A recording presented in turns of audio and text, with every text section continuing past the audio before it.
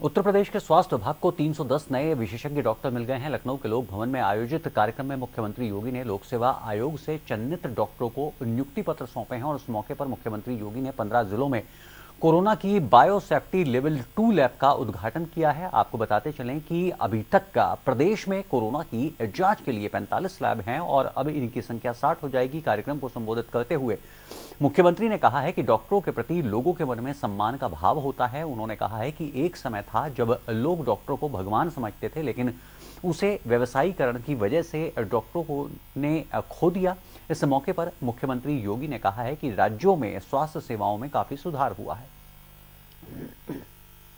310 विशेषज्ञ चिकित्सकों को जो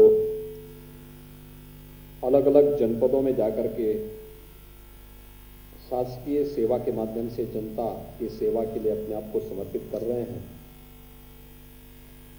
उन्हें नियुक्ति पत्र वितरित होने और शासकीय सेवा में उन्हें जाने का यह अवसर प्राप्त हुआ है। उनका हृदय से अभिनंदन करता हूँ, बधाई देता हूँ और आप सबके प्रति अपनी शुभकामनाएँ भी देता हूँ। हम सब जानते हैं कि प्रदेश के अंदर चिकित्सा और स्वास्थ्य विभाग में विशेषज्ञ चिकित्सक काफ़ी कम संख्या में थे। क्योंकि नियुक्ति की प्रक्रिया और जो विभाग की नीति थी उसके तहत केवल एमबीबीएस चिकित्सकों की ही नियुक्ति यहाँ पर होती थी। अगर कोई विशेषज्ञ चिकित्सक आ भी जाता था तो अलग से उनके लिए कोई प्रावधान न होने के कारण वह जिस सम्मान का हकदार होना चाहिए था, वह उसे नहीं प्राप्त हो पाता था। और अक्सर जब भी समीक्षा होती थी विभाग में, मैं अक्सर इस बात को कहता था कि अलग अलग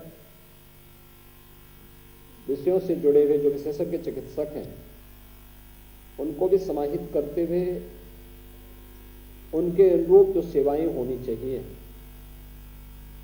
उसके अनुसार उन्हें तैनाती भी मिलनी चाहिए।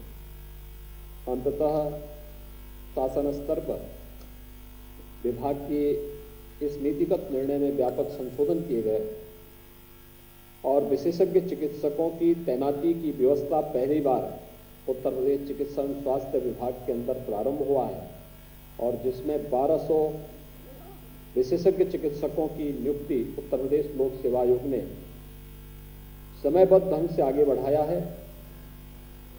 मैं उत्तर प्रदेश लोक सेवा आयोग को 1200 से अधिक विशेषज्ञ चिकित्सक उपलब्ध कराने के लिए हृदय से धन्यवाद देते